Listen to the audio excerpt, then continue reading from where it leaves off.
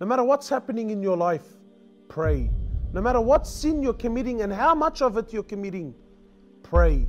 No excuses. Sister tells me, brother, I don't wear hijab. I tell you, pray. She tells me, look, you know, my dress code is not the best. I tell you, pray. Brother, I drink alcohol. Pray. Brother tells me I sell drugs. Pray. I take drugs. Pray. I have a girlfriend and I'm sleeping with her. I tell you, pray. No matter what's happening in your life, pray. But, brother, how can I be committing all of these sins and pray?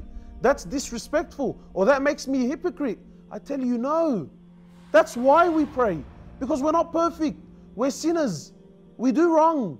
Pray. Allah says the prayer will take you away from sin. Pray. You know, sometimes people say, look, let me straighten my life out and inshallah I'm going to start praying. Habibi, you will never straighten anything out if you don't pray. That's why you pray, to straighten your life out. Nothing, my brothers and sisters, let no man get between you and Allah. Pray. No matter what's happening in your life, pray.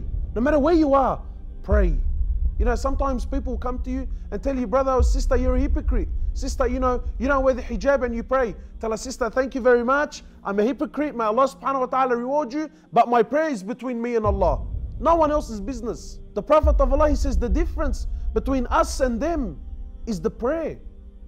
The very first question on the day of resurrection that you're going to be asked is about the prayer. If you pass, then everything after that's going to be easy. But if you fail that, then everything after that is just going to get worse. So pray. Pray, my brothers, you will earn Allah's love.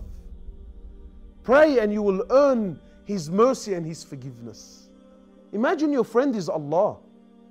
Never mind wealth. The heavens and the earth belongs to Him. You become an unstoppable force when Allah is on your side. So please, my brothers and sisters, no matter what's happening in your life, pray. Don't let anyone turn you away from Allah. You know, when your head, you know, when your forehead is on the floor, that's the closest you will ever be to Allah. Cry to Him, beg to Him, ask Allah for direction, and you will see happiness through prayer.